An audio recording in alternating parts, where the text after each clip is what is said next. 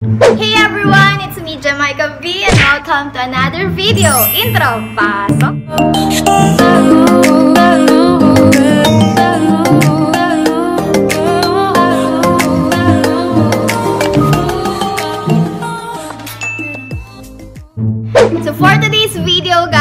Guys, it will be a another vlog. And wala siyang kinalaman sa story ko last time sa Facebook ko. Pero most requested pa rin tong ano, um, content na to, itong video na to. And kita nyo sa title below. Ayan.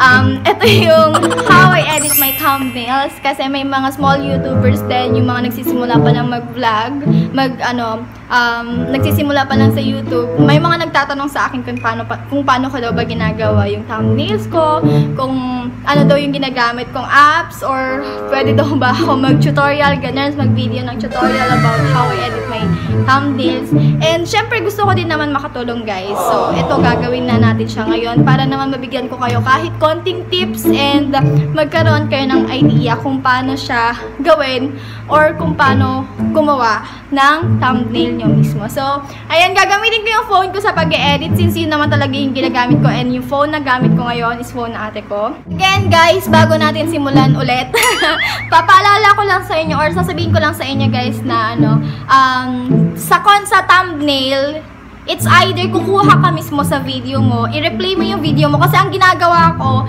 pag um, natapos ko na yung video ko, pag gagawa na ako ng thumbnail, nire-replay ko yung video ko. And pag may nakita ako doon na parang reaction na magandang pang thumbnail, ini-screenshot ko lang siya guys. In-screenshot lang, then doon natin i-edit sa my PixArt. Pero pag wala akong type or wala akong makita magandang reaction, malabo, gano'n, doon sa may mismong video ko, gumagawa ako, nagre-retake po ako ng video, nagre-retake ako ng thumbnail pero hindi ko gamit ang camera ng photo. Ang ginagamit ko is video pa rin kasi same size sila, 16 by 9. Same size yung video. Uh, video na nasa YouTube. Pag ina-upload mo yung video mo, 16 by 9 yung size niya. And ganun din dapat po yung thumbnail nyo para hindi na mahirapan and para hindi siya makat. Kasi same size na sila, hindi na sila magkaibang size. So, screen record lang natin siya, guys. Ayan, wait lang. I-ano ko lang. Screen record. Etong apps na to, ito yung ginagamit ko lang sa pag sa pag-edit or paggawa ng thumbnails.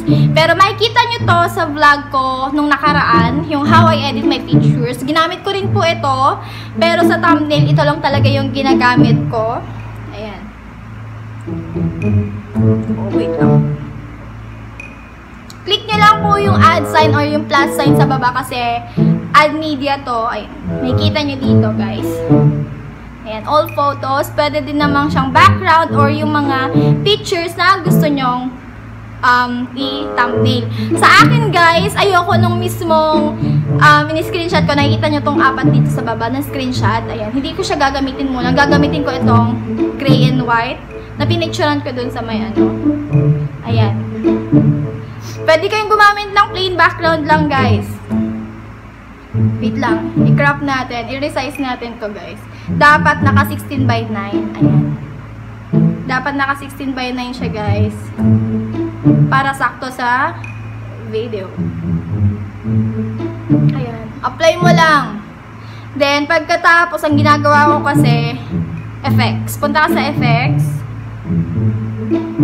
Then, blur i-blur mo siya. Ikaw, kung ano, gaano ka-blur yung gusto mo. Sa akin, 9 lang. Then, apply. Tapos, dito na. I-add ko na yung photo na ni-screenshot ko sa video ko. Kasi nag-video ako kanina ng pang thumbnail ito. Gagamitin natin to. Ayan. Then, crop mo lang muna siya para hindi siya masyadong malaki. Crop mo lang, apply. Then, cut out. Ka-cut out natin yung mismong ako lang. Ayan. Yung picture ko lang mismo. Cut out natin.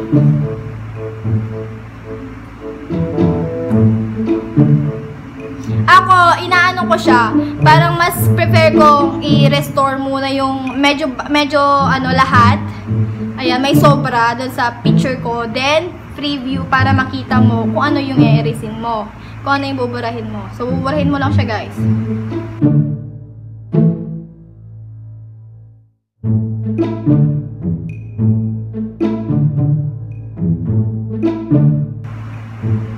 Pag may nabura ka na gusto mong i-restore, restore mo lang, guys. Thank you.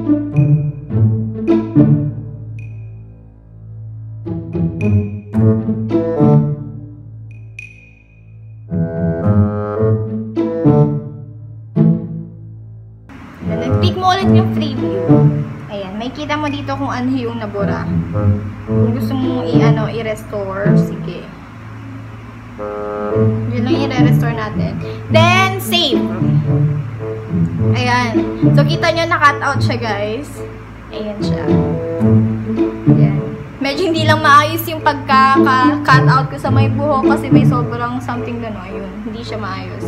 Pero okay na yan. Ako kasi, then ako, pag yung ano ko, nilalagyan ko siya ng border, white. Pero wag naman masyado. Ganyan lang. Then, pagkatapos nun, syempre mag-add ulit tayo ng picture since eto na yung gagamitin kong thumbnail dito. I can't. Wait. Okay, dito tayo. Ang i-add natin, yung mga prank. Where?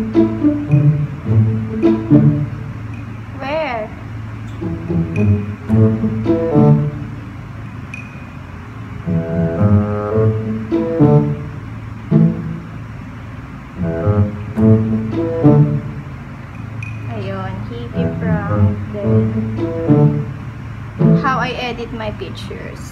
Check natin.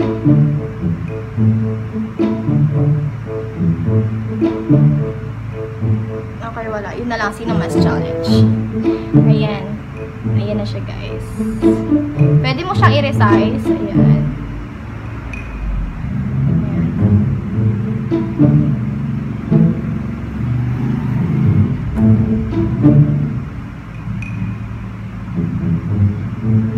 Ayan.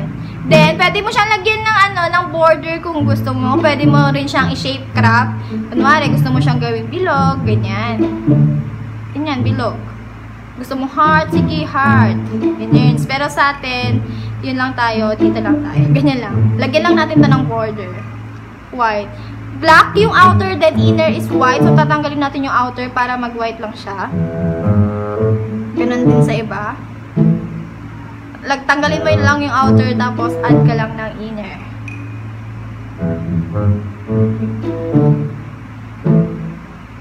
Border.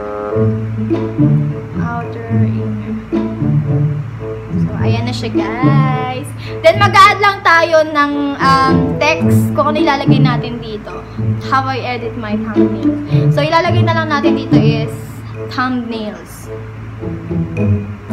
Thumbnails, tapos question mark.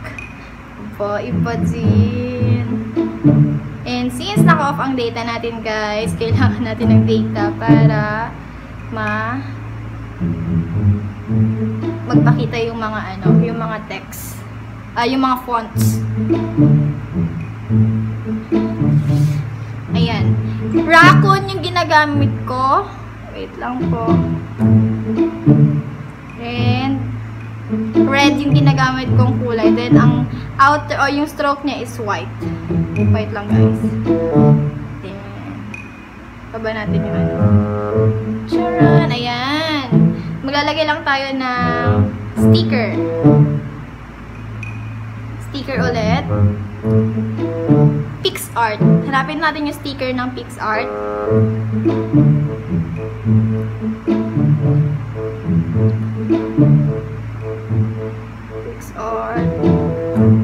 Ah, dito. Logo. Dito. Ayan. Pwede na siya dito.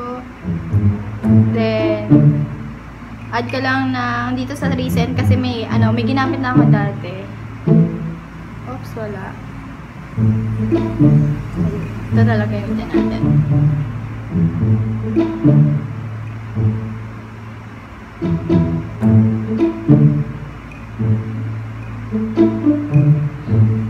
ayan. That's it, guys. Then, apply mo lang saglit. Oops. Naka, ano, naka, ano to? Hindi ko pa na-avail yung font style. Kaya, ang gagawin na lang natin, pag ganito, na hindi mo pa na-avail yung font style na gusto mo, pwede mo siyang screenshot lang muna. Screenshot mo lang muna siya. Or kung gusto mo naman, pwede mo siyang may langaw. Or pwede mo siyang, eto, click mo yung every picture tapos yung effects. Gawin mo HDR para mas malinaw. Ayan. Kita nyo yung difference, guys. Ayan. Lahat ng, lahat ng picture, ganun na lang ang gawin mo.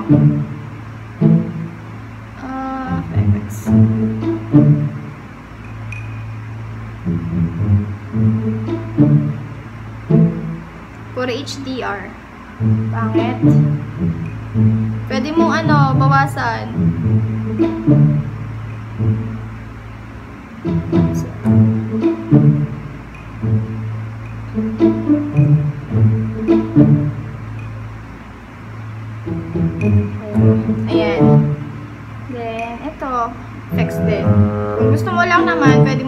Siyang i-HDR lahat. Every picture, every sticker na i-add mo, pwede mo siyang i-HDR. Pero ang hindi mo may HDR is yung text kasi hindi ko pa siya na-avail.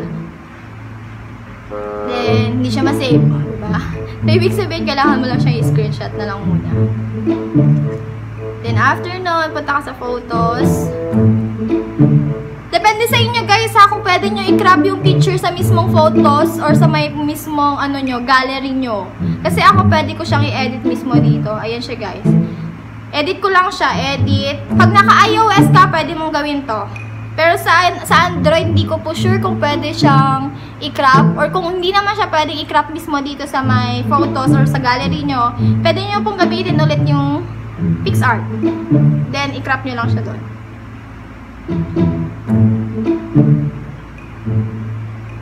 Ayan, guys. So, ayan. This is the final output. Tcharan! Makakagawa ka na ng magandang thumbnail mo. Um, using PixArt, guys. So, di ba? Napakadali lang, napakasimple. So, with that, guys, I hope um, nakapagbigay naman ako ng kahit papanong tips and ideas kung paano kayo pwedeng gumawa or paano gawin yung mga thumbnails na gusto nyo. Lalo na pag mag-upload na kayo ng mga videos nyo or sa mga future or sa mga videos nyo na gusto nyo maganda yung thumbnail. So, ayan guys, ito na, ginawa ko na. And with that, again, I hope nag-enjoy kayo. And see you on my next vlog. Thank you for watching. Bye-bye!